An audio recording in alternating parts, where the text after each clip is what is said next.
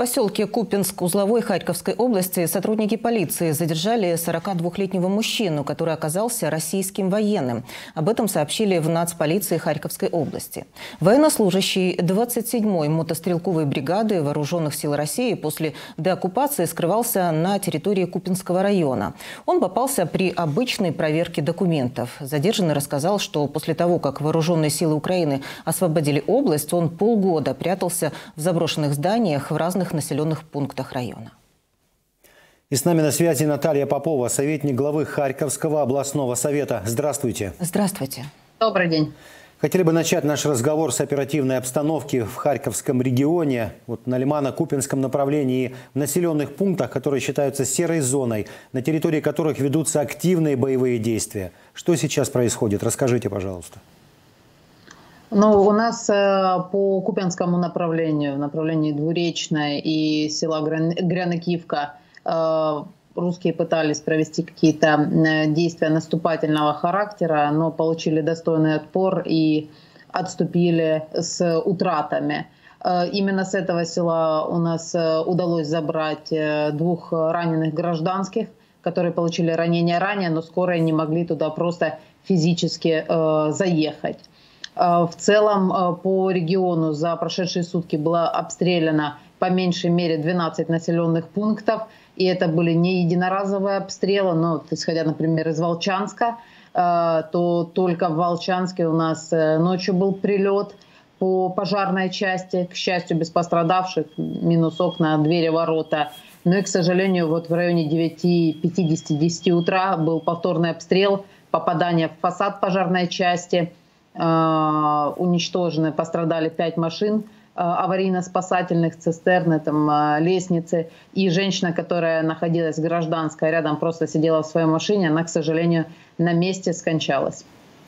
Ну, тела погибших в результате ракетного удара 23 февраля по администрации Двуречанской общины до сих пор находятся, я знаю, под завалами. Их достать ну, из-за постоянных обстрелов, от которых страдает Двуречная, пока невозможно. В течение вот, текущих суток российская армия нанесла удары по 12 населенным пунктам региона.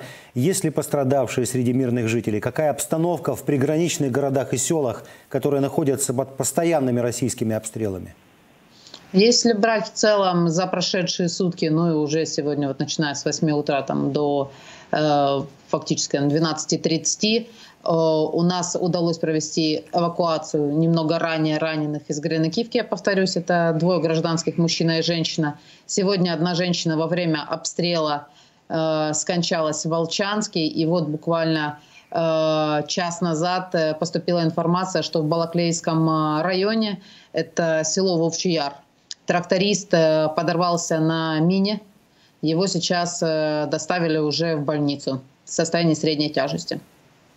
Да, часто вот такие сообщения приходят. И вот э, и из Херсонской области тоже приходили сообщения, тоже, что вот начались полевые работы, выехали в поле и подорвались на минах. Скажите, вот эвакуация из горячих точек Харьковской области, выезжают ли люди из прифронтовых населенных пунктов, и какое количество детей сейчас живет вот на линии соприкосновения? Смотрите, э, если говорить про эвакуацию, она фактически после деоккупации ни на один день она не останавливалась, потому что в том или ином виде часть населения э, хотела покинуть уже там полностью разрушенные дома или выехать к своим близким. Поэтому и силами военной администрации, громад и огромнейшее спасибо волонтерам, людей по одному, по два микроавтобусами, но в зависимости от количества заявок, то есть это добровольная эвакуация – Э, людей вывозят, в том числе, ну, фактически сейчас там где-то через день, потому что заявки есть не каждый день. Если мы говорим о детях, то у нас в трех э, громадах Купянского района была ранее э, рекомендована обязательная эвакуация. Там чуть более 100 людей, которые с проблемами там, опорной двигательной системы, они сами не могут перемещаться. И более 700 деток. Э, частично, но это небольшое количество деток, было вывезено э, согласно вот там, э, согласно согласию их родителей. Но, к сожалению, большинство написали отказы от эвакуации и достаточно большое количество детей, там определенное количество, несколько сотен остаются там. Но пытаемся их переубедить каждый день фактически. И волонтеры, и старосты сел общаются с ними, потому что находиться под этими обстрелами, но детям точно не надо. И живут они, получается, ну, практически в подвале целый день. Ни солнечного ну, света не видят, ничего. Да, Дети, дети, в принципе, так и говорят, что как, когда им привозишь еду, они говорят, ну да, мы там полдня в подвале провели, сейчас вышли подышать свежим воздухом, пока не свистит, и идем обратно. И ну, это не то детство, которое должно быть у наших детей, тем более при эвакуации, понятное дело, дается и статус временно перемещенного э, лица, и какая-то финансовая помощь, и людей расселяют, и есть множество волонтерских штабов, которые помогают продуктами питания и медикаментами, поэтому отказываться от эвакуации, вот в случае, как у нас, это просто нерационально. Зале, хотел бы еще вернуться к вопросам минной опасности. Вот после того, как житель э, села Снежковки вот, подорвался на лепестке, оставленном российскими оккупантами, специалисты ГСЧС обнаружили вокруг места происшествия еще более 70 таких мин. Вот скажите, когда возобновится масштабное разминирование на освобожденных территориях? Будут ли привлекать дополнительные силы? мы понимаем, что идет весна, лето, это будет цветение, и мины будет, э, это, ну, растения будут, да, будет так называемая зеленка, как называют военные. Очень сложно будет тогда проводить разминирование разминирования намного сложнее, чем сейчас. У нас разминирование, разминирование возобновлять не надо, потому что оно у нас не останавливалось.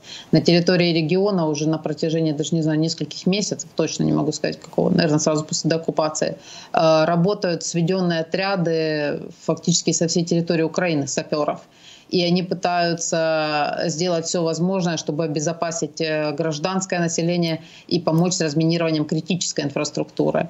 Но, как вы видите, если у нас ну, минимум там, 10 населенных пунктов в день обстреливается, часть снарядов не разрывается, то говорить о каких-либо сроках, когда мы справимся с этим, э, достаточно рано. Мы только понимаем, что нам понадобится международная поддержка, и партнерская, и дополнительное оборудование для Э, аварийно-спасательных бригад для саперов, для того, чтобы это просто ускорить. Но то, что мы являемся одним из самых загрязненных э, с точки зрения взрывоопасных объектов в Украине, регионов, это, к сожалению, факт.